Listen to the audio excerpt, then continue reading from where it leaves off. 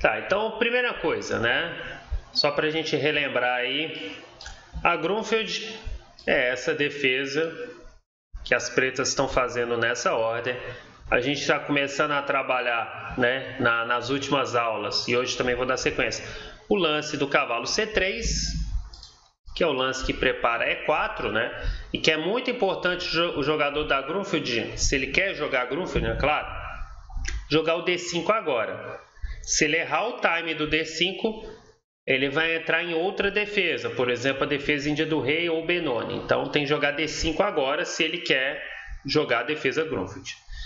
E aí a gente tem trabalhado na, nas últimas aulas, né, desde a primeira de Grunfeld até a da semana passada, a gente trabalhou bem as sequências com C toma D5 e cavalo toma D5, seguido de E4, mas também os outros lances aí. Inclusive ontem, naquele torneio malucão lá que eu joguei, é, um, do, um, dos adversários jogou aquele cavalo A4 lá que a gente já até viu.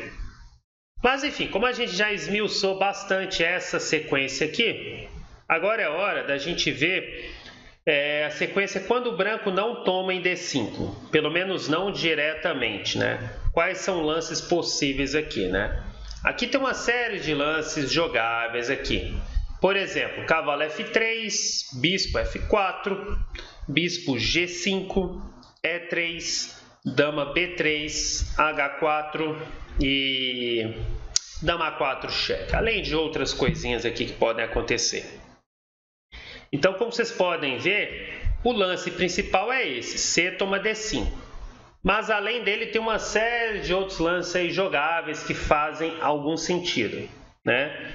É claro, o branco aqui, ele está no direito de jogar tudo quanto é loucura que ele quiser. Mas assim, é, lances lógicos são mais ou menos esses aí que eu citei. Né? Tá, é, qual que é o lance que a gente vai trabalhar hoje? Claro, a gente não vai conseguir fechar esse é, toda essa sequência hoje, mas a gente vai tentar entender um pouco mais aqui, aprofundar um pouquinho esse lance cavalo F3, que faz super sentido, né? O que está focado no desenvolvimento e, e, não definiu a captura em D5. Inclusive aqui meio que faz uma oferta de peão em C4. A questão é, será que a gente deve tomar em C4 e, e cair nessa tentação aí ou será que é melhor a gente focar no desenvolvimento? Enquanto vocês pensam, deixa eu ver o que falaram aqui. Ah, Valeu, pessoal, dando boa tarde. Tá, aqui tem uma série de lances jogáveis, mas o, o que eu vou sugerir é focar no desenvolvimento, bispo G7. Simplesmente para liberar o rock. Porque aberturas dinâmicas, como é a Grunfeld no caso, é, a gente tem que tentar deixar o rock disponível rápido, né? E além do mais, focar no desenvolvimento dessas peças da aula do rei.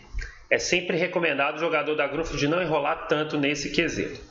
Tá. E o lance que a gente vai começar esse estudo de hoje é o lance bispo G5, que é um lance bem chato, né? Principalmente se pegar jogadores de surpresa aí, pode incomodar um, um bocado. Aí. Tá, primeira coisa que eu quero que vocês pensem é o que, que as brancas ameaçam diretamente com esse lance bispo G5. O que, elas estão querendo fazer colocando o bispo nessa diagonal aqui, né? Será que elas estão é, ameaçando tomar o cavalo? Será que pode ter algum problema no peão de E7?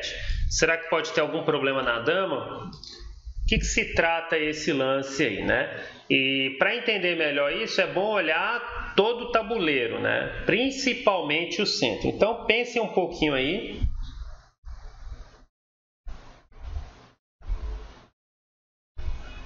Estão falando aí que é, é para ganhar um pimpolho de D5.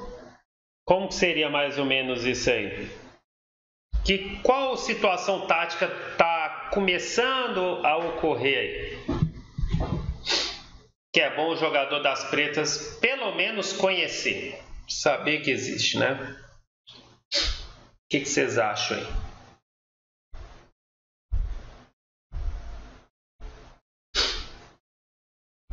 Deixar vocês pensarem um pouquinho aí.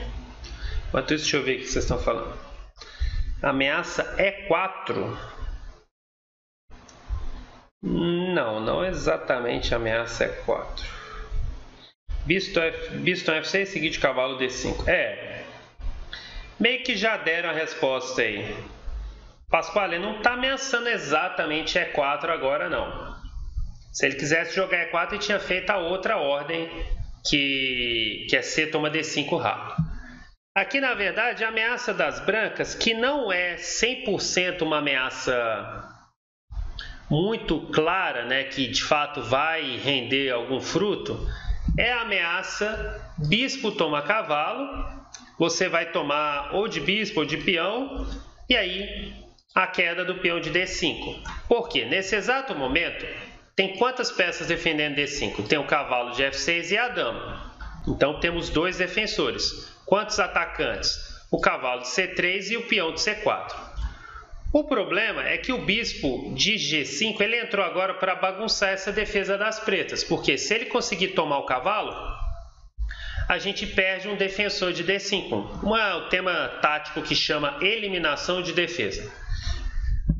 Só que é, nem tudo são flores aqui nessa ameaça das brancas, né? Será que vale a pena ceder o par de bispo, né? Que eu sempre falo a importância do par de bispos, para ganhar esse peão? Outra coisa, será que ele sustenta esse ganho material? Será que não tem algum tipo de compensação? Então vamos lá. É, ou de repente o preto pode se defender de maneira enérgica aqui? Então, assim, a gente já entendeu aqui qual é a ameaça das, das brancas. Digamos assim, a ameaça é, de maneira bem superficial, né? Claro que tem que ser feita uma análise um pouquinho mais profunda. A análise mais superficial possível é o branco ameaça tomar o cavalo, que é um dos defensores do ponto D5 que está sofrendo dois ataques. Pelo menos dois ataques no momento. Pode até aumentar esses atacantes. Então a gente já sabe a ameaça do adversário. A pergunta é: o que, que eu faço da vida agora, né? Por exemplo, aqui viria algumas soluções é, aparentemente óbvias e outras um pouco mais dinâmicas, né? Por exemplo, um lance que provavelmente vai vir na cabeça de muita gente aqui é o lance C6. Defende o peão, é, ajuda né, a controlar D5 e tal. Só que será que esse é o lance que a gente quer fazer na Grunfeld? Será que gente, o jogador de Grunfeld gosta, está satisfeito na maioria das vezes de fazer C6? A gente já viu em várias linhas que o preto gosta na Grunfeld de jogar C5, né? Não digo agora, eu digo no futuro. Então será que C6 vai ser uma boa estratégia? Tudo bem, C6 defende D5 junto com a dama. Mas será que não vai atrapalhar a nossa estratégia de longo prazo? Tá, outro lance que pode vir em mente, jogar E6. Mas será que o E6 é o lance também que a gente quer fazer na Grunfeld, fechando o bispo, por exemplo? Será que a abertura dessa diagonal jogando E6 não pode ser prejudicial futuramente? Então tudo isso a gente tem que levar em conta, né? É, também pode passar na cabeça de alguns jogadores lances como rock simplesmente deixando acontecer aquele tema, sacrificando, né? Porque a gente joga rock, ele vai jogar bispo F6, bispo toma e C toma D5 ou cavalo toma D5. Será que a gente quer que isso aconteça? Vai passar na cabeça de alguém também o lance C5, que é aquele lance assim, ah, tô nem aí para sua ameaça, eu vou explodir o centro e vamos ver o que que dá. Será que C5 também funciona aqui? E claro que um outro lance que vai vir na cabeça é D toma C4. Que alguém citou no chat ali agora mesmo, é, que parece o gambito da dama aceito, na verdade é bem diferente do gambito da dama aceito, é totalmente diferente. O gambito da dama aceito é outra formação de peões, não tem o fianqueto, por exemplo. Mas assim, lembra minimamente né, a questão de tomar em C4 e o branco vai recuperar. Valeu Quântico Underline Twitch aí por seguir. Então aqui o preto ele tem algumas alternativas, mas será que todas as alternativas aqui são bem-vindas? Né? E talvez até outros lances aqui que eu poderia pensar. Deixa eu ver o que mais que eu poderia pensar aqui. Sei lá, um lance meio feio, bispo é 6 aqui, né? Sou esquisito. Mas enfim, então dê algumas alternativas aí, pense um pouco aí, enquanto eu, eu leio aqui o que vocês estão falando aí. O que vocês falaram aí?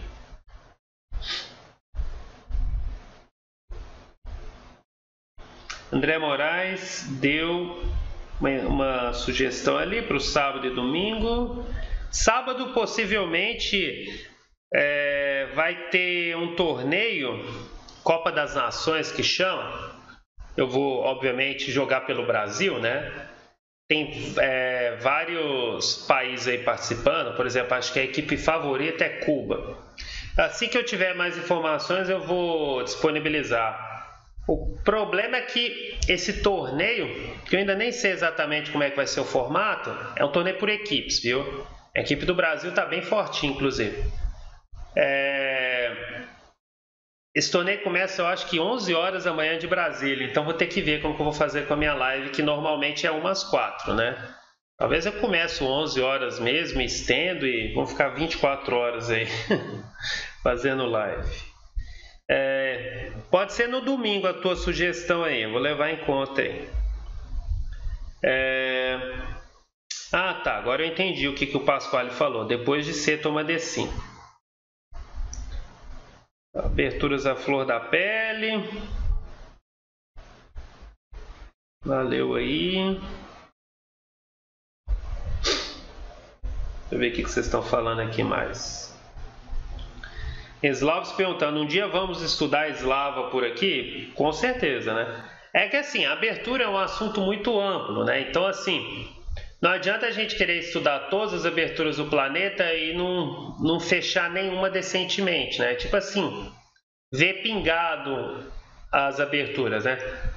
Eu sempre penso, quando eu vou estudar algum assunto no xadrez, mesmo que eu gaste um tempo, talvez é, alguns podem pensar exagerado ou não, mas eu gosto de fechar a variante certinho, sabe? Não deixar nenhuma dúvida. Claro que mesmo com esse esforço a gente não consegue fechar tudo em certas variantes, mas é eu prefiro que a gente pegue uma abertura como a Grunfeld, por exemplo, gaste várias semanas, mas estude ela detalhadamente. Aí depois a gente pode sim pegar uma eslava, entendeu? Do que tentar ver tudo muito rápido e não entender nada de nada, entendeu? Mas com certeza pode ser no futuro sim uma eslava, por sinal é uma defesa que eu jogo, né? Saudações aí, Rafa Pematos. Eslavos falou, começa às 11 e o ritmo é 3-2. Perdão jogará pela Argentina? Não sei. Você pensou que ia jogar. Ó, oh, João Vitor aí reconheceu a camisa da Colômbia aqui, que eu tô com a camisa da Colômbia. Você é fã de futebol então, hein? Achei que ninguém ia reconhecer essa camisa aqui. Estou usando a camisa da Colômbia, porque eu já, já joguei torneios lá. Cavalo C6 e cavalo B4. Pá, pá, pá. É, no sábado tem um torneio também do Clube Xadrez Venda Nova. O Like Sup, boa tarde. O que você acha de fazer o que o Nakamura está fazendo? Entrar num stream aleatório e ajudar um enxadrista novar.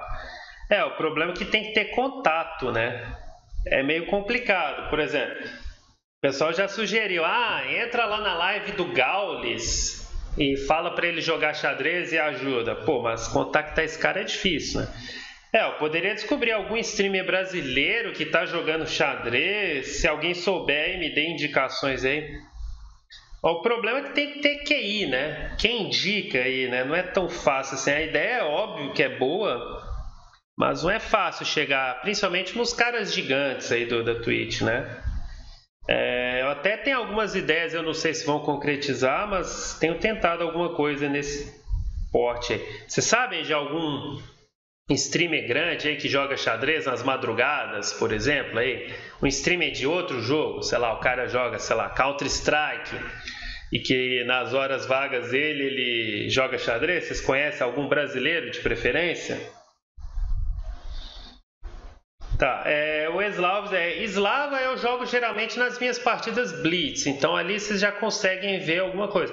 Ontem mesmo eu dei uma deitada no GM jogando Slava, o cara não entendeu nada. Foi uma que eu passei o trator no cara.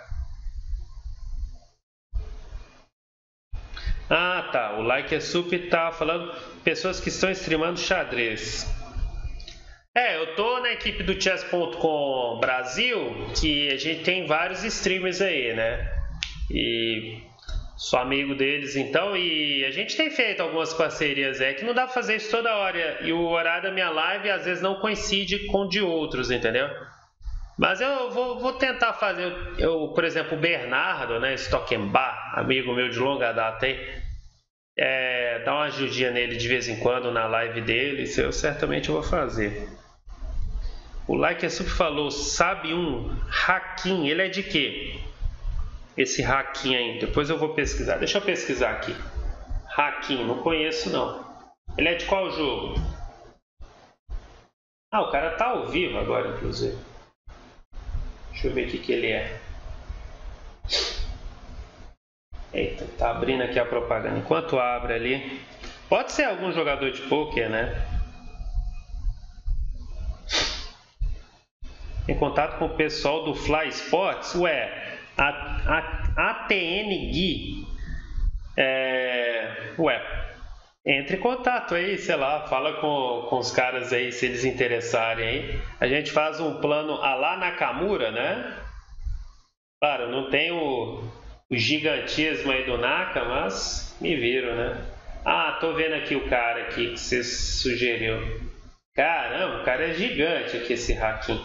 Ele joga xadrez de vez em quando? Depois eu vou ver aqui, deixa eu ver os vídeos dele, se tem algum de xadrez aqui. O cara joga um jogo aqui que eu nem sei o que, que é isso. Ah, ele joga uma porrada de jogo diferente, né? É, depois eu vou checar isso aí, valeu pelas dicas aí. Mas eu tô vendo aqui, o cara parece ser gigante, né? Vai ser meio difícil contactar esses caras. Eu posso tentar, evidentemente. Ah, ele é do Team Liquid. Ele joga Valorant e imagino que joga CS também. Mas enfim, tudo bem aí. É... Tá, deixa eu só ver. Eita, eu fechei aqui o negócio aqui sem querer. Tá, depois eu vou checar isso aí. Ela é de LoL de Valor, Valorant. É, eu vi ali, tem vários jogos ali. Valeu, velhinho. Beleza. É, depois dessas dicas aí eu vou checar aí. Se o Molina chamar o Orochi, ele será banido para sempre da Twitch. Quem que é esse Orochi? Eu nem sei.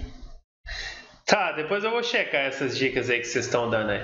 É, vamos retomar aqui a Grunfield, né? Senão a gente se perde aqui. É... Inclusive vocês podem me dar essas dicas aí se se quiser, pode me dar no privado essas dicas aí, tanto pela Twitch quanto é, no WhatsApp, no. Nossa, eu estou em vários grupos de xadrez, né? Pode ser no privado do chess.com, né? Vocês vão no meu nick e me manda no privado ali a mensagem, me dando alguma direção aí. Alguém falou que tinha o contato aí do cara. É, cara do Flamengo aí, né? Pelo que eu entendi. Ah, Orochi é o que? É o dono da Twitch? Sabia não. Enfim. Ah, passar o zap por aqui é meio complicado aí, mas a maioria das pessoas aí tem tem meu contato nos grupos aí. Me manda mensagem, quem, quem tiver essas ideias aí, me manda, ou qualquer outro assunto, me manda mensagem no privado aí no chess.com que é mais fácil responder. Não sei se deixar o. Não chama o Orochi, ele é muito moleque.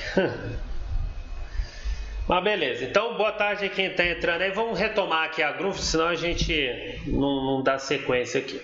Então é o seguinte: bispo G5 ameaçou bispo a cavalo e perdeu o peão de D5, né? O preto perderia. É, a resposta D por C4 ela é interessante e tal, tem bastante complex, complexidade aí. É, por exemplo, tome C4, E4, C5, D5. B5, eu já até vi o Crico em uma das lives dele jogar essa posição, o Crico estava bem por dentro da teoria. Enfim, uma posição bem louca aqui, só para vocês terem ideia, joga E5, B4. Aí se o cara tomar o teu cavalo, você toma em F6 atacando o bispo dele. Olha que posição louca, né? Duas peças caem, aí geralmente a teoria que é dama é 2 e ré F8. Quem quiser se aventurar nessa maluquice, que eu já vi o Crico jogar, e o Crico está por dentro da teoria sempre, né? ele é especialista de Grunfeld, eu já falei isso. É, até com certeza ele é mais especialista do que eu, né? É, mas enfim, eu tenho tentado melhorar nisso, estudar mais para entender mais a Grunfeld. E essa posição ela é louquíssima. Até onde eu sei, a avaliação é que as pretas conseguem muitas vezes uma certa vantagem, mas assim, é bem complexa aqui a sequência. Podem se aventurar nisso. Tem outros lances aqui que a galera joga. É, por exemplo, Biston F6 também dá para fazer, dá para fazer D6. Eu acho que D6 era o lance mais forte. Eu acho, eu acho que esse é o lance que pode criar mais problemas para o preto. Mas enfim, eu não vou entrar muito nessa linha caótica aqui. A linha que eu vou sugerir, ela talvez ela é mais fácil de entender, que é o lance cavalo é 4. Mas fique registrado que D para C4 tem muito potencial. Viu? É, uma hora ou outra aí, talvez jogando Blitz, eu até posso jogar esse DC4 aí e ver o que, que dá aí.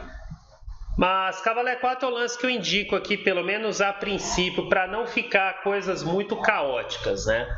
E Cavaleiro 4 é um lance bem interessante. Primeiro, eu faço uma espécie de ataque duplo, ataco C3 e ataco G5. Tomar em D5 agora já não é tão fácil do branco exercer, porque o preto pode tanto tomar em C3 quanto tomar em D5. Então, como que é a teoria normal aqui? É C toma D5, cavalo toma G5. Então já pegamos o par de bispo. Aí o adversário vai tomar para não ficar com peça a menos. Cavalo toma G5. E daí a gente joga o lance E6. Que é um ataque duplo. Só que é um ataque duplo que dá para passar bem despercebido, né? Porque assim, a ameaça principal é o cavalo. E a ameaça secundária é o peão de D5 recuperando o peão a menos que a gente tem. Às vezes o jogador das brancas pode estar meio distraído aqui, pode esquecer o cavalo no ar, né? Mas isso a gente não vai levar muito em conta, né? A gente vai imaginar que o adversário está atento, então ele vai jogar possivelmente cavalo F3. E aí a gente joga E, toma D5. Essa posição eu já joguei até muito tempo atrás, joguei de brancas. Eu nem lembro como é que eu fui nessa partida. Eu acho que empatei. Eu acho que empatei essa partida que eu joguei. Deve ter uns 12 anos eu joguei essa posição. E. Não, uns 10 anos.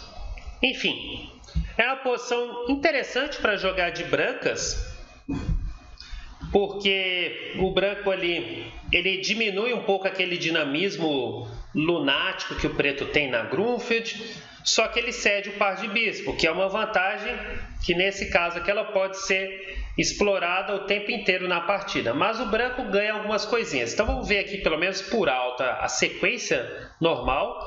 E3, Rock, acho que não preciso explicar muito esses lances. E daqui o branco joga B4. Que é um lance que parece não fazer sentido, né? Tipo, o que, que ele está querendo com esse B4, né? Qual que é o sentido desse lance? Só que para quem entende um pouco de estratégias relacionadas ao ataque de minoria, esse lance faz super sentido, né? Porque pensa comigo. Tudo indica que o preto algum dia vai jogar C6 ou C5. Então esse lance primeiro ele já super controla C5. E caso o preto jogue C6, ele já tem B5, fazendo o que a gente chama de ataque de minoria. Só uma coisa, vocês devem estar escutando um rajado nervosíssimo no nervosíssimo nervosíssimo no fundo ali.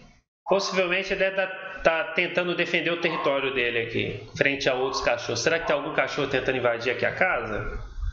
Tá nervosismo, nervosíssimo ali. É, enfim. Então esse B4 ele tem essa ideia de já frisar alguma coisa na ala da dama. Aqui o preto não tem por que temer, ele vai jogar C6 mesmo. Bispo E2 para rocar rápido, também não é bom enrolar. Bispo E6 simplesmente para desenvolver.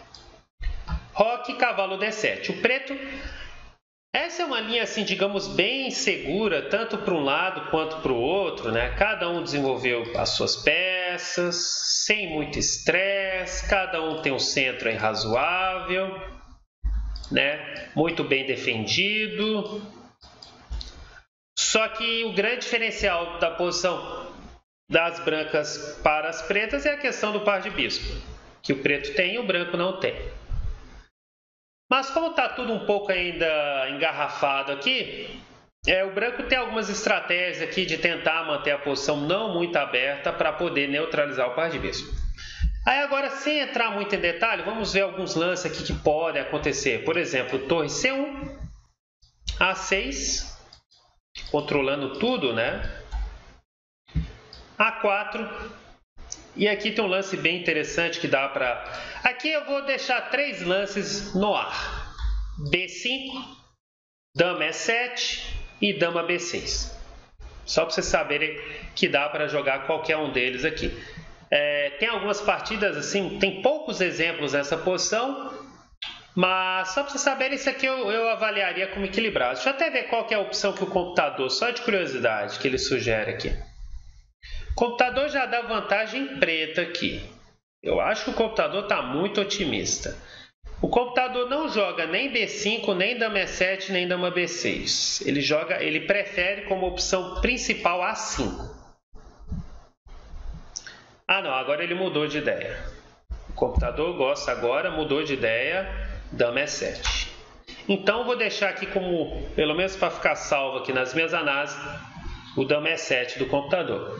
Não vou entrar tanto em detalhe aqui como é que vai ser a sequência, mas tudo indica que a gente vai trazer essas torres para o centro. Possivelmente torre E8 e torre D8, ou torre D8 e torre C8. A gente pode deixar engatilhado uma ideia do B5, uma ideia do A5. O branco agora tem que defender o peão que está caindo. Enfim, é... aí depois quem quiser investiga melhor esse tipo de posição. Eu acho que é uma posição interessante para as pretas por causa do par de bispo, mas tem que vigiar sempre o B5 aí, que tenta quebrar o flanco dama. Então é uma posição para vocês investigarem depois. Vamos voltar aqui um pouquinho. Tem outros lances além de torre C1 e A4 aqui que o cara pode fazer. Mas isso é só para a gente ter uma ideia. Aqui, por exemplo, dá para jogar também dama B3, é um lance que faz bastante sentido. Dama B3, eu acho que eu jogaria, por exemplo, A6 de novo. Tem porquê não fazer esse A6, né? É um lance útil aí. O streamer do chess.com Alvin chama isso aqui de estrutura da Nike. Isso aqui, né? Sei lá, porque acho que faz o formato do símbolo da Nike. Eu ainda, eu ainda tenho um pouco de dificuldade de ver essa Nike aqui, mas enfim, ele chama assim. É... Tá, voltando aqui um pouco. Ah, tem um lance também bem interessante aqui, é, nessa posição, que é dama D6 também. Depois bispo E6 e depois cavalo D7. A dama fica meio que guardada ali, numa casa central. Também é uma opção interessante. Tudo são ideias que aí depois cada um vai pegar e aprofundar o quanto achar melhor, né? Não vamos engessar nada aqui não. É, voltando aqui um pouco, além de B4, aqui também bispo E2 também pode ser normal. É que bispo E2 agora ele dá a opção do preto jogar A5. Claro, eu posso jogar C6 e ficar parecido com o que a gente acabou de ver. Mas A5 aqui é um lance interessante para controlar essa ideia. Inclusive, dá para cogitar A5 agora também, antes do rock.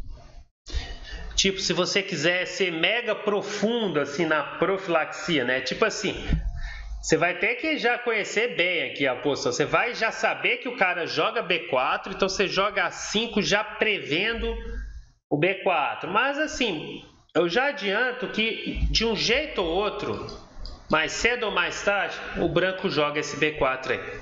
O A5 não, evita o resto da vida, não. Entendeu? Mas são ideias para vocês colocarem na cabeça aí. Aqui o normal é rock, né? E aí B4 é opção principal.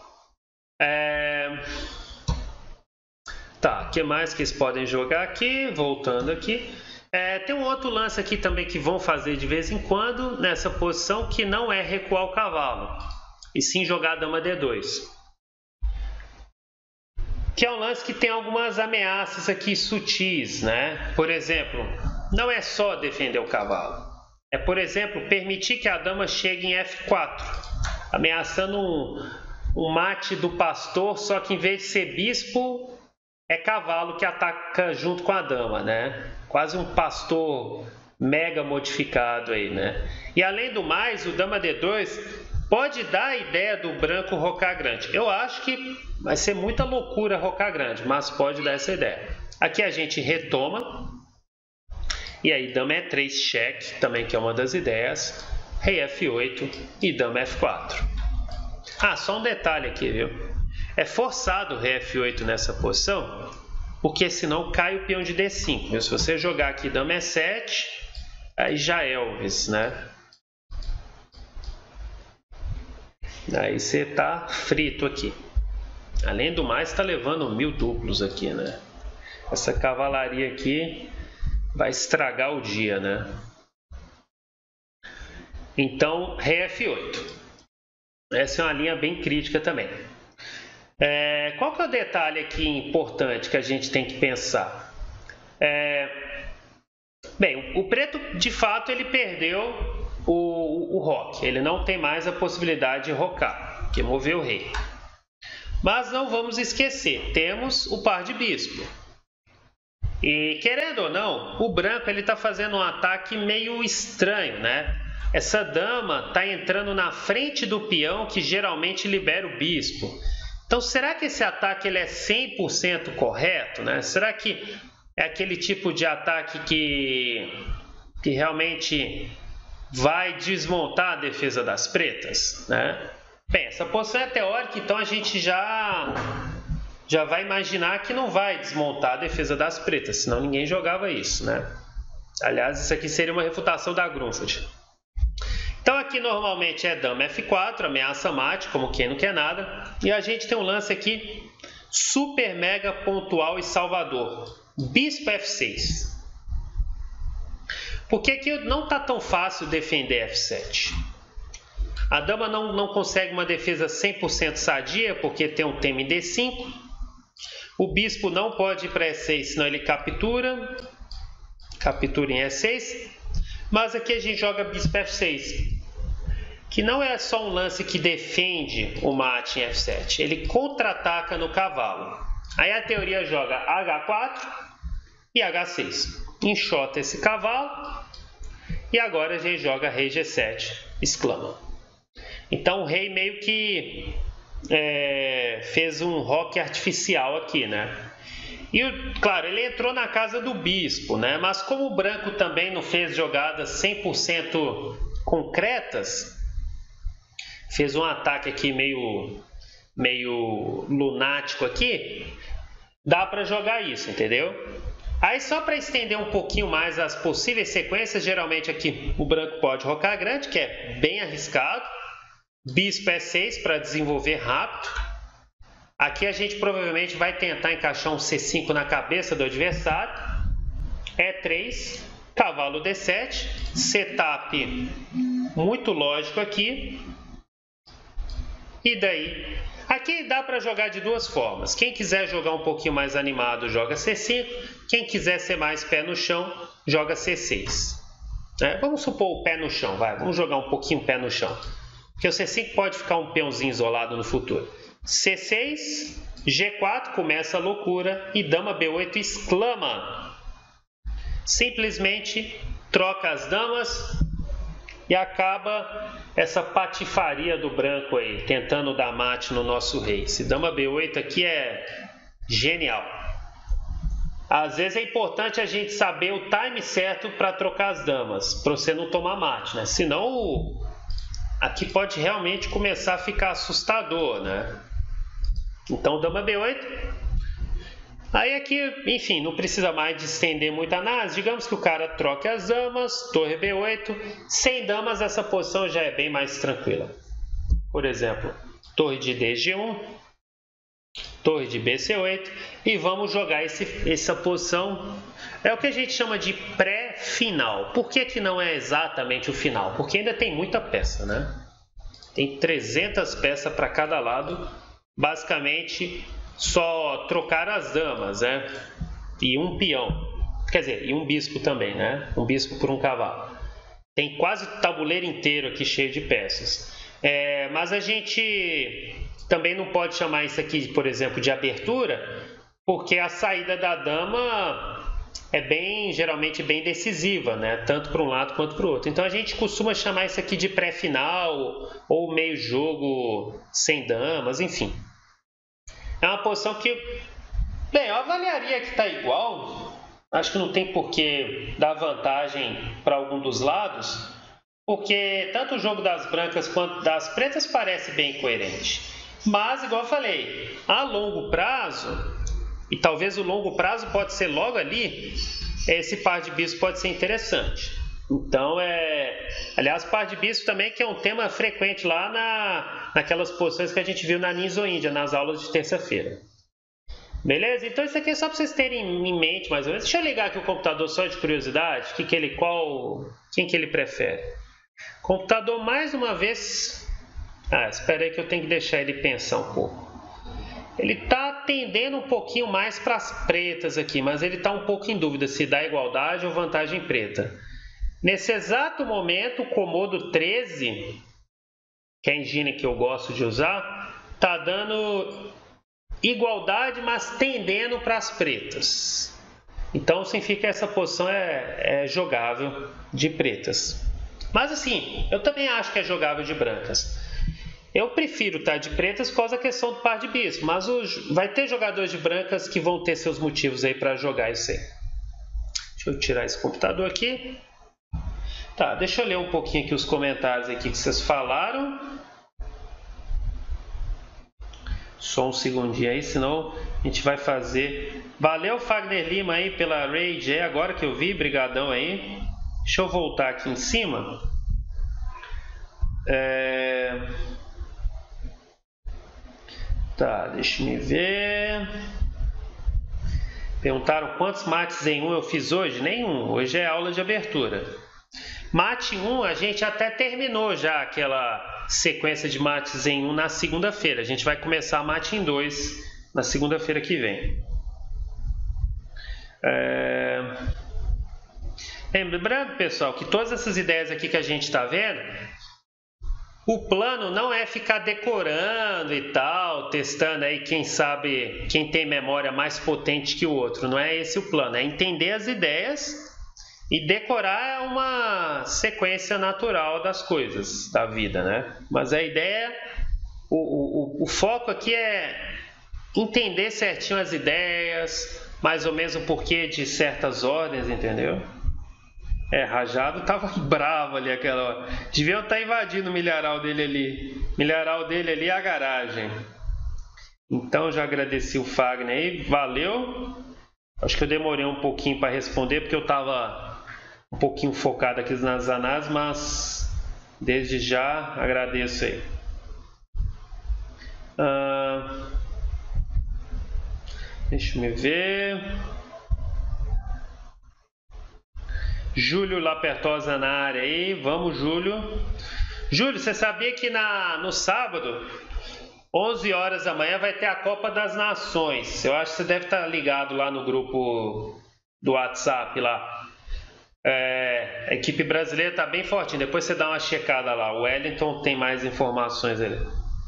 Aí tem o livro do Dump aí, que está aparecendo aí de vez em quando aí. Perguntaram se o livro do Dump é bom. O Júlio Apertosa pode responder aí melhor. Júlio, o que, que, você acha do Dump? Aliás, quem ainda não está seguindo o Júlio aí é Júlio Underline Lapertosa Underline Oficial. É...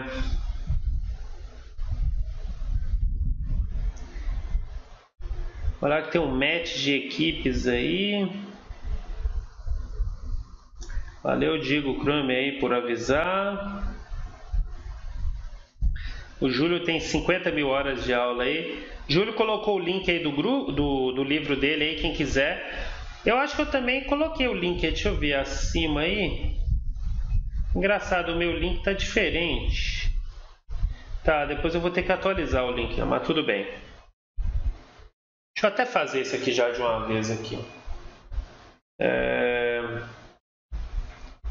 Para ficar certinho aqui, me dá um segundo aqui. que o Júlio.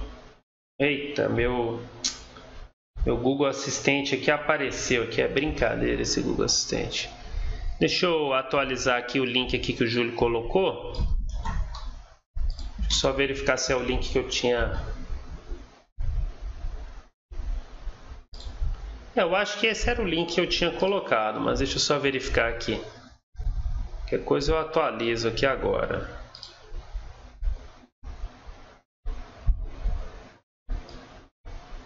Está um pouquinho diferente do, do, do, meu link ali. Pronto, eu atualizei aqui o link, Júlio. Agora tá o mesmo link aí. Tá, vamos voltar aqui, deixa eu ver o que mais. Então o Júlio tá na, tá na área aí. Você colocou também o link aí do, do Amazon. Aliás, eu também tenho que colocar o Júlio aqui como dar uns poderes para o Júlio, né? Cadê o Júlio? virar moderador aí. Não sei se o Júlio vai usar muito esses poderes aí, mas agora virou, virou moderador aí. É... O Júlio colocou outro link ali. Será que esse é o mesmo link que eu estou usando? Deixa eu ver. Do livro do Dump, que eu super recomendo aí. Eu acho que é esse link que eu tinha colocado. Mas por via das dúvidas eu vou atualizar aqui, viu, Júlio? Para ficar o mesmo link aqui certinho. Porque às vezes esse negócio de link, se você colocar uma, uma letrinha diferente, muda tudo, né? Pronto. O que mais vocês falaram aí? Minha lista de livros. É, eu tenho que fazer um post lá no, no blog ali no chess.com. Vou deixar a lista dos meus livros ali. Mas já já recomendo o Dump aí, por exemplo, para começar. Ah, sua live no sábado vai ser mais curta? Ah, então você, na hora que você terminar, vai estar tá começando o torneio. Eu vou ter que ver o que, que eu faço ali. Tá. Vai rolar um aulão de chess base um dia desse? É, podemos, podemos ver isso aí sim. Na, nos temas coringas do sábado ou domingo, né? Rajado tá louco ali. Meu Deus do céu. Mas enfim. Ô Rajado, dá um tempinho aí, né? Tá, então, beleza, vamos seguir aqui na Grunfeld. Então vocês viram mais ou menos aqui como pode ser uma estratégia contra esse dama D2, que ele é bem venenoso, né? A gente toma em D5, o cara dá o chequinho do mequinho, a gente tem que jogar F8 quase que forçado, e aí ele ameaça mate na cara de pau, né? E aí bispo F6. Defende o mate e ataca o cavalo. H4, acho que é o lance faz mais sentido aqui, já que começou essa loucura, tem que ir até o final, né? E aí temos H6. Cavalo F3, Rei G7. Aí Roque grande, já que o cara tá na festa aí, vamos então até o final. Bispo E6, E3, Cavalo D7 bispo D3 para desenvolver as peças e daqui eu sugiro pelo menos o C6 aqui, eu acho que é mais conservador. E se o cara insistir nessa loucura de G4, dama B8, troca as damas e vamos jogar um xadrezinho bem de boa aqui. Tranquilo? Então essa variante aí ela dá para jogar sossegadamente, né? Vamos voltar aqui, que existe ainda algumas outras. Pera aí, umas outras sequências críticas aqui, né? É, pode ser que o adversário queira jogar G4 primeiro, né? Mas sem terminar o desenvolvimento, Isso aí talvez não vai fazer muito sentido. Eu jogo C6 e aí? Como que ele vai continuar o ataque? Fica meio que uma torre caindo em H1, né? Se ele jogar G5 agora. Será que G5 dá agora? Acho que não, né? G5 eu jogo HG, HG, torre H1, né? Então, de qualquer forma, ele vai ter que desenvolver esse bispo aí para poder atacar, né? Um outro lance que dá para tentar aqui é 4, um pouco mais animado. Mas aí a gente toma, é, digamos que ele toma aqui de cavalo, e daí C6 a gente vai enfrentar o peão isolado, né? E o lado bom dessa posição é que está defendido F6, né? Digamos que ele sai trocando tudo em F6, vai. Só para. Essa é uma posição que eu acho que, na minha ótica, o preto tem vantagem por conta do peão isolado do adversário. E esse nosso bispo aqui agora, ele é bem forte aí, viu? A gente provavelmente vai jogar cavalo D7, centralizar as torres e segue a vida. Então esse E4 aí não me assusta. Tá, é, no lugar de H4 o cara pode voltar humildemente para casa aqui, mas aí rei G7, roque grande, vai dar bem parecido aí com essas análises. Que uma hora ou outra o cara vai avançar geral ali para o nosso lado, né? Então não vai ficar tão diferente. Então é só conhecer essa linha aí do Dama, Dama D2, saber que existe. É, também tem aqui um H4 que dá para jogar aqui, mas não é um lance muito produtivo também. Beleza? Então, é, voltando aqui. Então esse E6 é um lance aqui bem chave nessa posição. Ataca o cavalo e vai recuperar o D5. Só para quem está meio perdido aí, como é que chegou nessa posição? Né? Eu vou repetir aqui. Foi D4, cavalo F6, C4, G6, cavalo C3, D5, cavalo F3, bispo G7, bispo G5. E aí o lance que a gente está vendo aqui é cavalo E4. E a sequência principal é essa: C toma, C toma D5, cavalo toma G5, e E6 recuperando o peão de D5. Aí aqui o branco tem cavalo F3 e tem dama D2. Os dois lances aqui é, que a gente viu agora mesmo. Tá, o que mais que tem aqui de diferente que pode acontecer, né? No lugar de C toma D5 aqui, é, o branco pode simplesmente querer voltar o bispo. Né? Faz sentido também, ah, tira o bispo do ataque e segue a vida, né? E aqui a gente pode fazer um lance bem característico da Grunfeld. Qual seria? Vamos ver quem mata essa. Essa é super fácil. Qual seria o lance mais característico aí da Grunfeld? Eita, eu cliquei o negócio errado aqui. Fui ver aqui o chat ou entrei aqui no link meu aqui sem querer.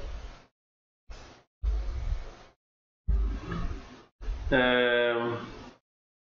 Hum. Oh, o Eslauves aí colocou os time A e o time, o time A e o time B ali do torneio do sábado, né? Tá. E aí, após esse bispo H4, qual que é um lance aí que cheira Grunfeld? Qual seria? Ah, esse meu pescoço aqui tá osso. Tem que arrumar uma cadeira gamer urgente. Você sabe algum algum modelo de cadeira gamer aí que, que é bom? Pesquisar na internet. Pois bem, o que, que você responderam? C5, C5, C5, todo mundo querendo jogar C5. Tá, C5 é um lance aqui que faz bastante sentido. Um lance bem animado. Mas eu acho, pela minha experiência de Grunfeld, que o lance que realmente tem totalmente o cheiro da Grunfeld aqui é cavalo por C3. Que aí vai chegar naquela estrutura característica que a gente já viu. E nessa posição, o preto pode jogar de duas formas nessa sequência, né? Cavalo toma C3, B toma C3. O preto tem duas alternativas interessantes para investigar. D toma C4 é que às vezes, por incrível que pareça, a gente até vai defender esse peão. Não é a ideia, mas muitas vezes a gente vai defender. E e o lance C5, que ele pode ser feito aqui para atacar essa estrutura, para bagunçar o coreto aí do adversário. Tá. O C5 que vocês citaram aqui também pode ser utilizado. Mas é um lance que também tem algumas implicações aí que é bom ficar esperto, né? Por exemplo, o peão de D5 ali está meio que caindo, né? O cavalinho é 4, mas enfim, também dá para jogar. Então, contra esse bispo H4, é, primeiro, não, não recomendo aqui jogar C6, eu acho que esse lance não tem a cara da Grunfeld.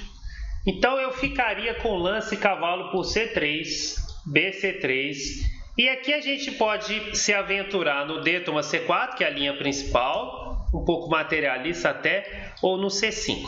Vamos dar uma olhadinha, qualquer coisa a gente dá uma olhadinha em cada um deles. Vamos começar com o D toma C4. Dama 4 cheque para simplesmente recuperar o que pertence a ele. E aqui o lance fino é dama D7. Trocar as damas não é uma alternativa muito agradável agora, porque depois fica difícil de recuperar esse peão. Inclusive eu tomaria de cavalo e jogaria cavalo B6. Então tudo indica que o branco vai jogar dama C4. Aliás, se o Júlio estiver na área, acho que o Júlio jogou uma posição dessa variante recentemente contra o Crico no torneio de Caxambu, né? Se o Júlio estiver na área, me confirma aí. É... Enfim, e agora com essa dama em C4 a gente pode jogar, por exemplo, sólido e bom B6. Qual é a ideia? Bispo A6, por exemplo, ou bispo B7.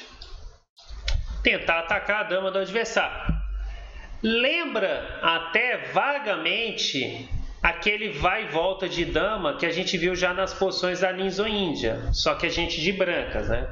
Claro que é uma posição um pouco diferente, bem diferente, mas a ideia não é tão absurda que não.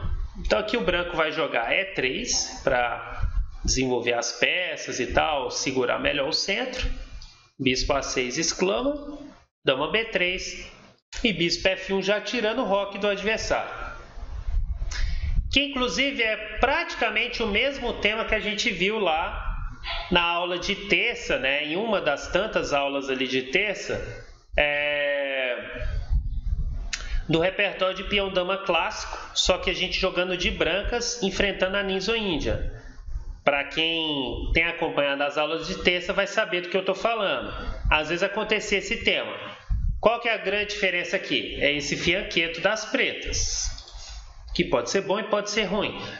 Na outra posição, o bispo vai para B4 e, e alcança outros caminhos. Mas o tema na aula do rei é parecido, né? A é, explorando a dama branca aí, né, e tal. Então vai tomar de rei, pode tomar de torre também, acho que não vai fazer tanta diferença. E aí rocamos. Rei é 2, igualzinho lá na Ninzo Índia, Cavalo C6. Nessa posição a gente guarda um pouco o C5 para não abrir muito rápido é, a nossa dama. Mas talvez é um lance que, que dê para jogar também. Mas cavalo C6 nessa posição é um pouco mais interessante.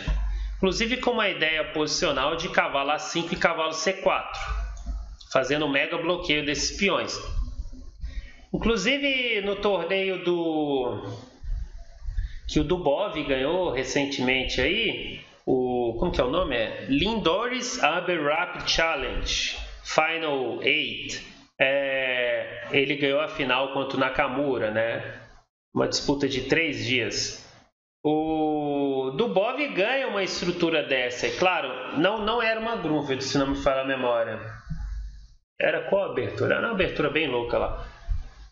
Mas ele usou esse tema. O Nakamura tinha um peão em C3 e um peão em D4. Ele faz um bloqueio, ativa as peças e varre o Nakamura lá em uma das partidas. Eu até coloquei no Instagram, eu acho, é, uma citação dessa partida. Depois vocês dão uma olhada lá. Só que eu coloquei ontem, se não me engano. É, e aqui, seguindo, por exemplo, torre D1, cavalo A5, Atacou a dama. O cara vai tirar a dama, imagino que dama B4. Torre E8, defende o peão aqui que estava atacado. Torre C1. Torre C8. E segue a vida aí. Uma posição. É, eu acho que o jogador das pretas não tem nada que reclamar aqui, né? O rei está protegido. O rei preto, né? O rei branco também vai ficar protegido se ele achar necessário. Ele pode voltar igual lá na Ninzo-Índia. É, o preto tem um bispão em G7 aí que pode criar temas no futuro com C5 ou E5 para ajudar. Esse cavalo ele sonha em chegar em C4, mas será que ele consegue? Na pior disposta ele volta para B7 e D6, se ele achar necessário. A dama em D7 toma conta aqui de várias, várias casas aqui no tabuleiro, fazendo o papel de dama ativa, né? A dama em B4 eu não sei se ela está 100% bem colocada, mas pode ser que sim, pode ser que não. E as torres pretas e torres brancas estão ok aí, eu acho. Estão centralizadas aí. É, a sequência dos fatos é: será que o preto vai jogar com E5? Será que vai jogar com C5? Será que vai remanejar o cavalo? Será que vai focar em C4? O que, que eu vou fazer com essa dama? Mas enfim, aí cada um depois investiga melhor essa posição. Acredito que a maioria dos jogadores de brancas vão jogar F1 e dama F5 aqui. E segue a vida.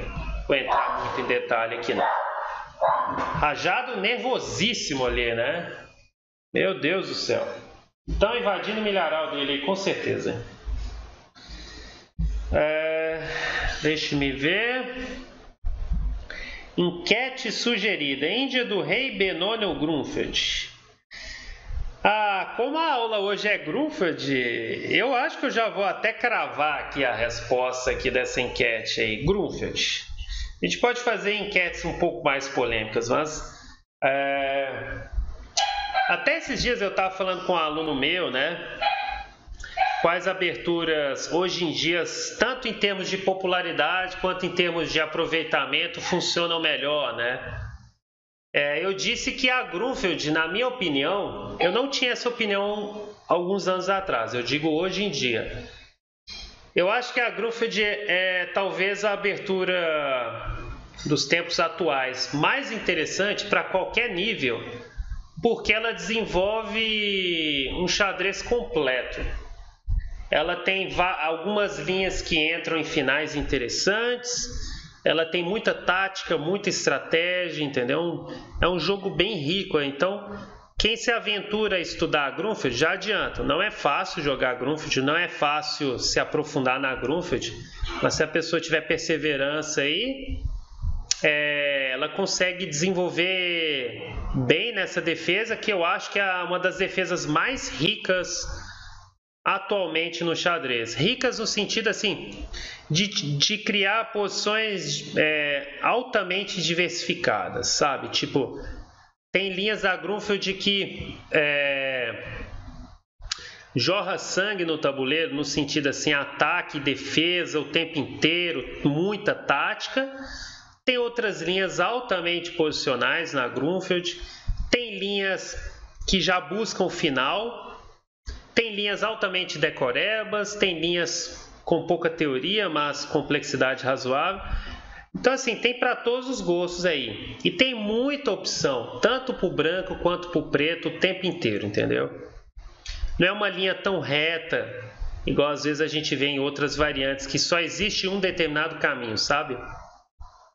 Então eu acho que estudar Grunfeld não é só uma forte defesa, é uma defesa que incentiva o jogador a melhorar no xadrez, porque se ele quer melhorar na Grunfeld, ele vai ter que aprofundar em vários elementos aí, como tática, estratégia, finais. Eu acho ela muito ampla, entendeu? E como eu já disse, tem outras aulas, né? É, eu acho que eu posso citar dois nomes muito importantes na história da Grunfeld, que é o Kasparov e o Fischer, né? E dos nomes atuais, a gente tem, por exemplo, Caruana como, como um usuário frequente da Grunfeld, né? E Peter Svidler também, né? É Vachier Lagrave. Então, assim, é, no Brasil, Crico e Evandro, né? Então, uma defesa fantástico aí. É, Gambito Volga, alguém falou aí. Ah, colocaram aí Julie Crico Cachambu, colocaram o game aí. Eslauves é ninja, hein, Eslauves? Cadê o Eslauves aí? Deixa eu ver esse link que ele colocou. Acho que ele colocou o link da partida, não foi? Deixa eu ver como é que foi. Que eu citei a partida. Foi Grunfeld, né? Eu lembro que foi Grunfeld. Deixa eu ver qual que foi. Ah, foi um pouquinho diferente aqui a ordem. Ah, não, não, não. Foi a, foi a mesma coisa. É que o Crico jogou D toma C4 rápido. E o Julião não conseguiu recuperar o peão de maneira adequada, né, Julião? Lembra que a gente analisou essa parte. Ficou com o peão a menos, né? É, deu um pouco errado para as brancas aí. O Slavs colocou colocou a partida aí. Valeu, Slavs aí. Sempre ninja aí no chat aí. Tá, vamos voltar aqui onde eu tava. Deixa eu ler mais alguma coisa. O Daspino perguntou: não perde um tempo tomando de rei? Mas como é que iria tomar em F1? De torre ia dar na mesma. Porque se você toma de torre, você vai ter que jogar rei A2 e torre D1. Então, se você. Eu acho que dá na mesma, né? Pensa comigo. Você vai jogar rei toma F1, rei E2 e torre D1. Você gasta três tempos para organizar, para chegar, por exemplo, nesse setup aqui. Se você tomar de torre, você vai jogar torre F1, rei E2 e torre D1. Gastou a mesma quantidade de tempos. Não perdeu tempo aí. A não ser que você queira fazer uma estratégia diferente. Aí. Sei lá, você vai tomar de torre e depois vai colocar o rei aonde? Entendeu? Naquele momento aqui, né, que eu estava me referindo aqui. Eu acho que foi isso que ele ele estava falando, né? Visto F1. Esse tipo de plano é, de tomar em F1, jogar rei E2, depois torre D1, e daí voltar para F1 e G1, por exemplo, claro, é óbvio que consome vários tempos, mas a posição do, das, das, brancas ela é, é sólida o suficiente para permitir isso. Tem desenvolvimento, tem domínio central aqui bem firme, né? Não é fácil atacar esse rei. Então é. Claro, isso aí poderia ser perigoso se o adversário tivesse alguma coisa concreta ali, mas não, não tem, né? O preto aqui também está um pouquinho atrasado no desenvolvimento. Então, assim, não dá para ir já criando um, um AUE aí, né? Eu acho que foi isso que você estava falando aí, né? Quem falou foi o Das Pínola, né? Hum. Rajada a ponto de bala. Ah, o Hélio Trinas, eu criei a enquete que apareceu para mim esse poder. Pode, pode colocar as enquetes aí. É que assim, hoje como a gente está focado aqui na Grunfeld, a gente pode levantar essa discussão aí de qual defesa é melhor em outro, outra aula. Hoje vamos tentar focar na Grunfeld porque é o tema do momento, mas é claro que as enquetes são bem-vindas aí, não tem nenhum problema não. Podem levantar enquetes polêmicas aí, sei lá. Quem é melhor, Kasparov ou Fischer, historicamente, ou Carlsen? Isso aí. Aliás, se tiver algum admin aí na área aí, algum moderador ninja aí que sabe fazer essas enquetes aí, puder colocar algum teminha aí, fica à vontade. Tem uma partida do Crico e Rafael, uma partida muito foda na Grunfeld. É... Bem, acho que eles já devem ter jogado várias aí. Se achar o link, pode colocar aí. Chama o Rajado. Rajado tá quietinho ali. Já já ele aparece aí. Eu acho que ele deve estar tá lá na garagem e não vai escutar, não. Pois bem, vamos voltar aqui. Então, é...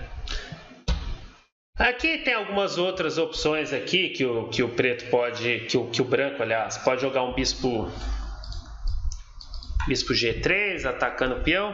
Meio que nessa daqui a gente, é, fica quase que obrigado a jogar o C5, né?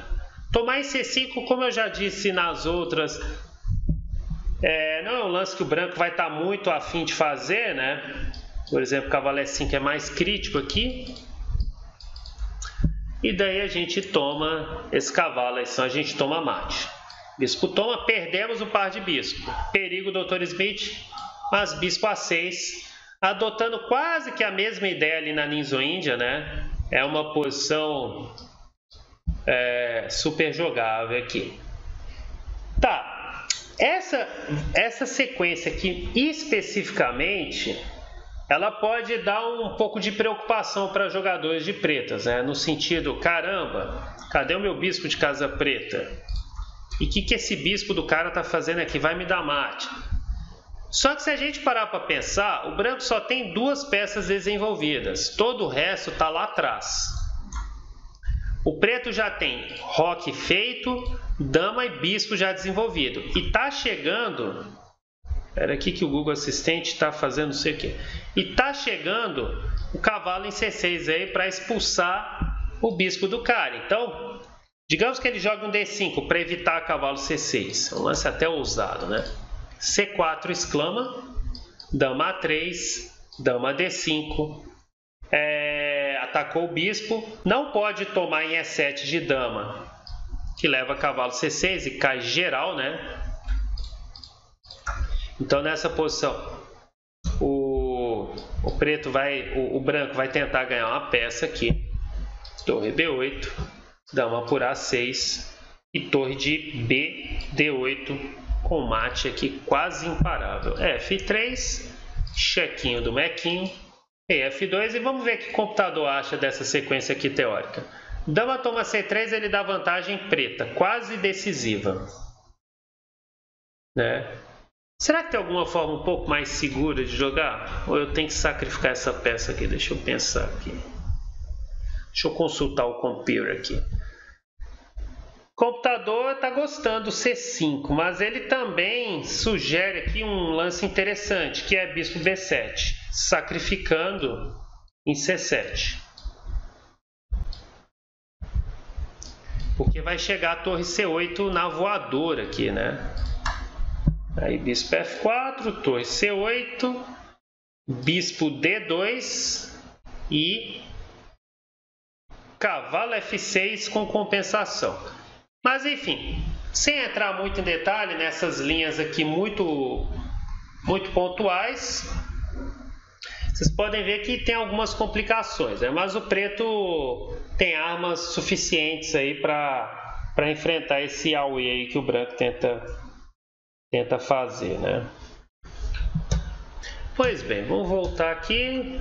Então a gente estava é, nessa variante aqui, entendeu?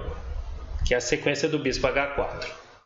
Eu estou entrando aqui bem detalhado nessas linhas porque, claro, nos lances mais lógicos, né, não nas maluquices que o branco pode fazer, e sim nos lances que tem mais, que fazem mais sentido, né, que é para pelo menos a gente pegar as ideias principais, né. Mas é claro que sempre no meio de um mar de alternativas aqui lógicas vai ter um mar de alternativas bizarras, né? Então você tem que tá esperando aqui tudo quanto é coisa aí para fazer. O que, que, o pessoal falou aí? Grunfeld e Siciliana? É, são duas ótimas defesas aí. Grunfeld é a siciliana. Ah, Grunfeld é a siciliana do Piondama. Entendi a comparação agora. É, faz sentido. É dinâmica, né? E bem completa, né? Tá. É, então, tudo isso a gente estava chegando aqui. De novo, só para a gente é, frisar bem a ordem. D4, cavalo F6, C4, G6, cavalo C3, D5, bispo G5, bispo. Opa, errei aqui. Espera aí. É, é, D4, cavalo F6, C4, G6, cavalo C3, D5, cavalo F3, bispo G5 é outra coisa. Deixa eu até apagar aqui. Misturei as bolas aqui. Cavalo F3, bispo G7 bispo G5 agora. E a gente está vendo esse cavalo E4 e a gente estava olhando agora mesmo o Bispo H4. Rajado chegou, Rajado. Chega aí, Rajado. Aparece aqui para a galera aqui. Eu sei que você é meio tímido, mas chega aí. Ah, olha aí. Dá um oi para a galera aí. Rajado sempre muito muito comunicativo, né? Defendendo o nosso milharal aí. Dá pra ver ele aí? Fala alguma coisa aí, Rajado. Fala aí, garoto. Rajado, cachorro de duas cores aí. Parece hiena. Ah, vocês falaram que ele parecia um cachorro africano. Eu pesquisei na internet. Realmente é igualzinho lá. O... Qual que era o nome? É. Ma. Como que era? Ma, ma, Mazembe? Nossa, esqueci o nome do cachorro lá. Enfim, realmente ele parece uma hiena e. Ou uma hiena ou um... o cachorro africano lá que eu esqueci o nome é. Maze... Mazembe. Sei, alguma coisa assim. Não lembro o nome do cachorro africano lá. Mabeco? Pode ser? É Mabeco? De onde eu tirei Mazembe? Ah, Mazembe foi um time que derrotou um brasileiro no Mundial de Interclubes. Eu confundi aqui, tô louco aqui. É Mabeco, né? É, é, Rajado realmente parece. Primeira vez que eu vi Rajado, eu achei que era uma hiena, para ser bem sincero. Aí depois eu olhei mais atentamente e vi que era um cachorro. Falei, rapaz, onde arrumaram essa hiena aqui, né? Mas tudo bem. Ah, é, Mazembe foi o time que ganhou do Inter. Meu Deus, que confusão que eu fiz aqui. Tem nada a ver.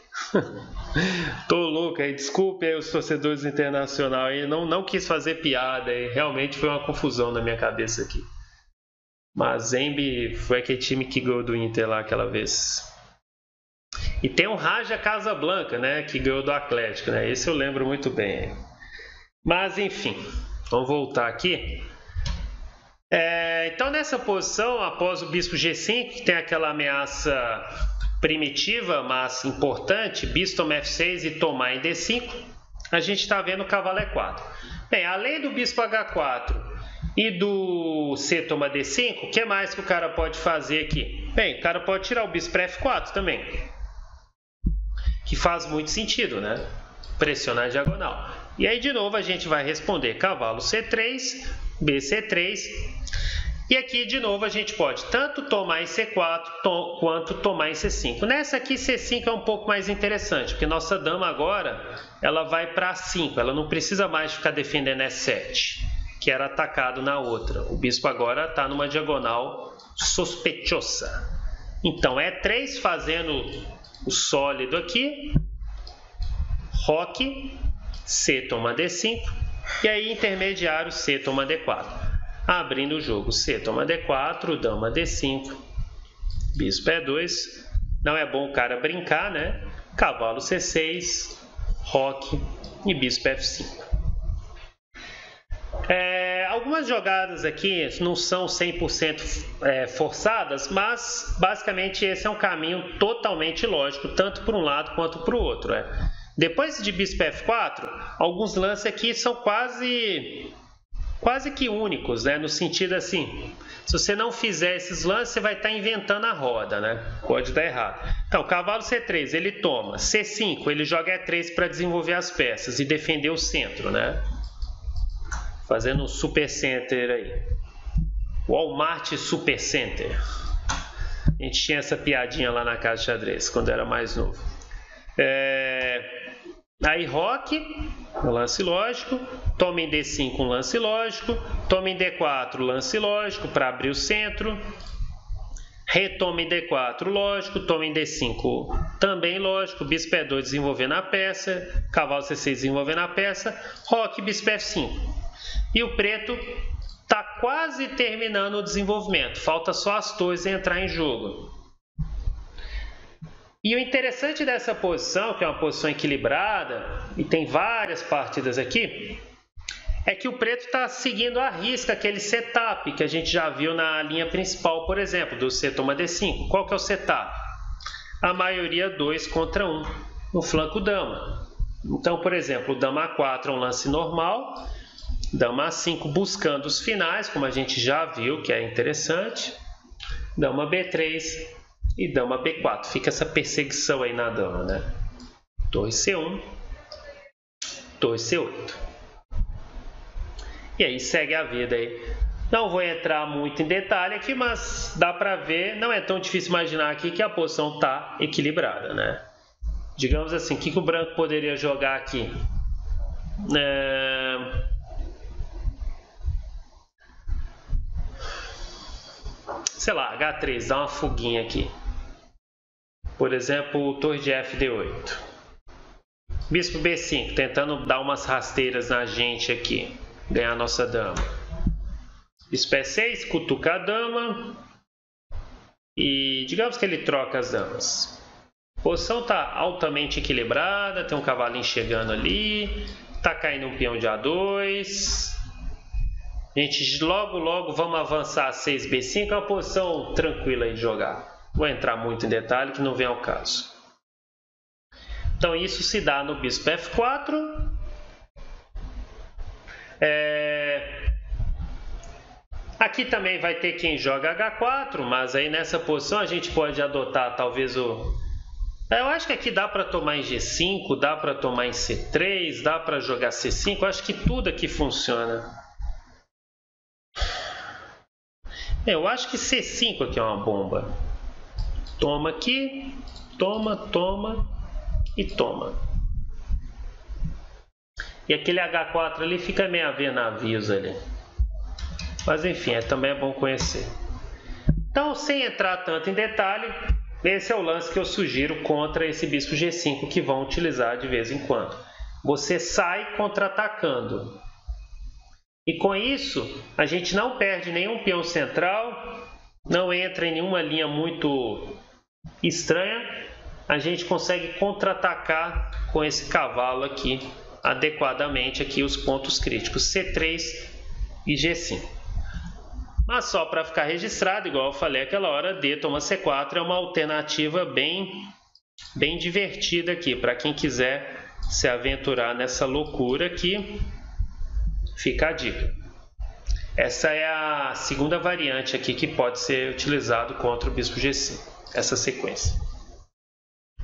Beleza? Deixe-me ver aqui.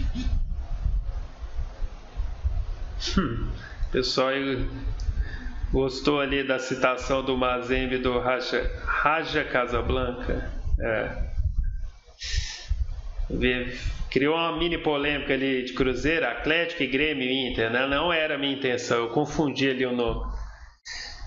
O William quer que eu analise o Leitão e Crico Festival Internacional de Xadrez 2007. Não sei mandar o link da partida. Tá, posso ver. Deixa eu, deixa eu antes só salvar isso aqui. Deixa eu ver que partida é essa que você está citando aí. Só um segundinho, só salvar aqui para ficar tudo redondinho aqui. Deixa eu buscar, eu tenho que buscar essa partida aqui na minha Mega Database. Qual é a partida? Me dá um segundo. Leitão em Cricor 2007. Vamos ver aqui se tem a ver com o assunto aqui.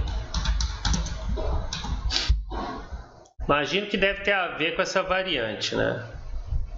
Tá. Os dois que já jogaram trocentas vezes, né? Deixa eu ver se eu acho aqui. Espera aqui que eu fiz uma capivarada aqui. Pronto. Agora vai.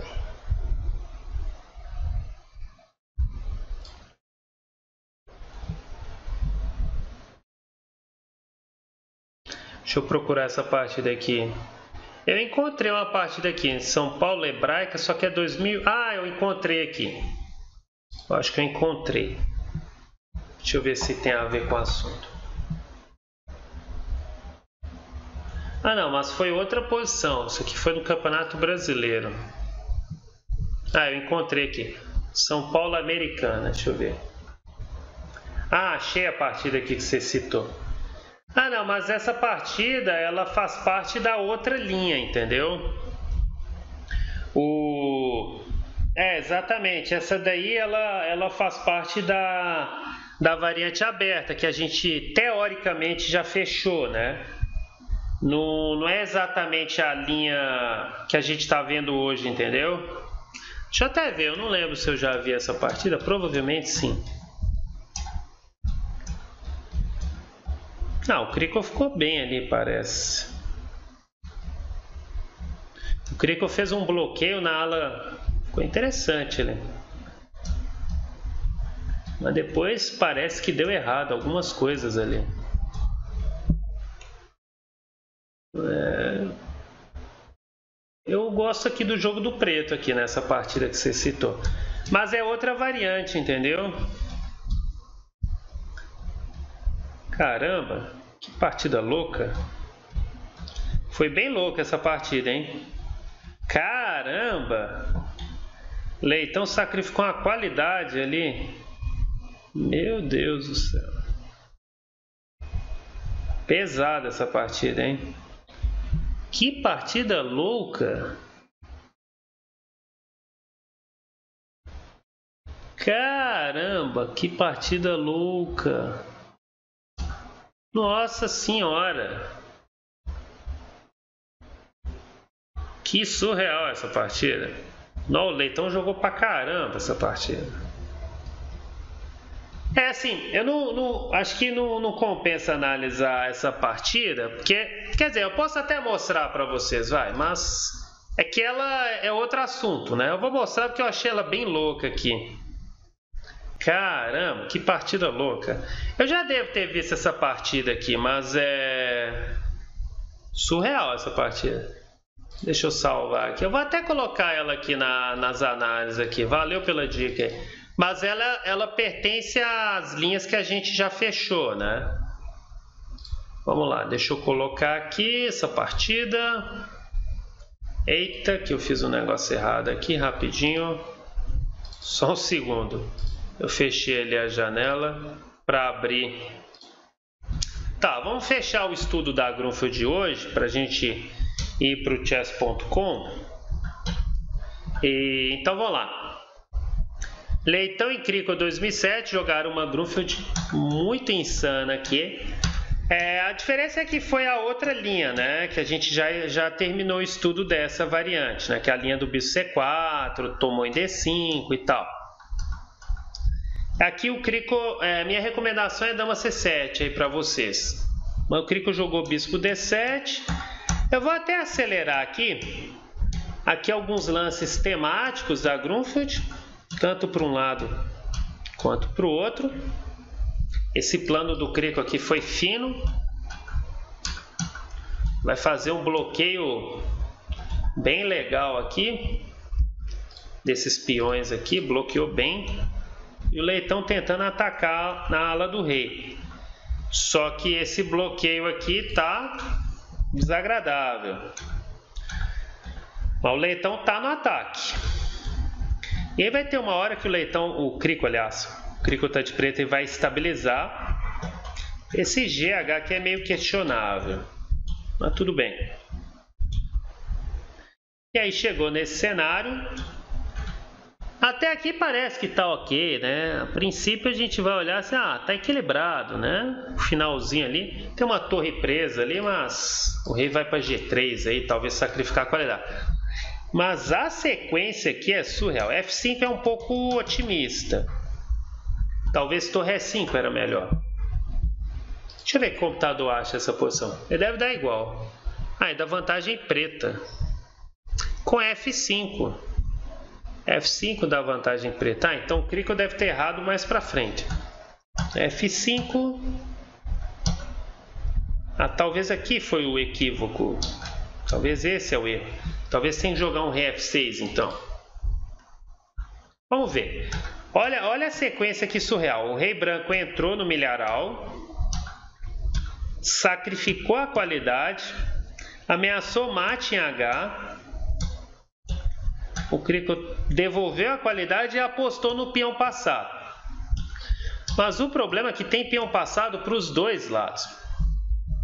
Tem esses peões aqui e esses dois. Que partida louca. Esse tipo de final é bem difícil de avaliar. Porque qualquer cálculo errado que você faça aqui, você perde o jogo, né?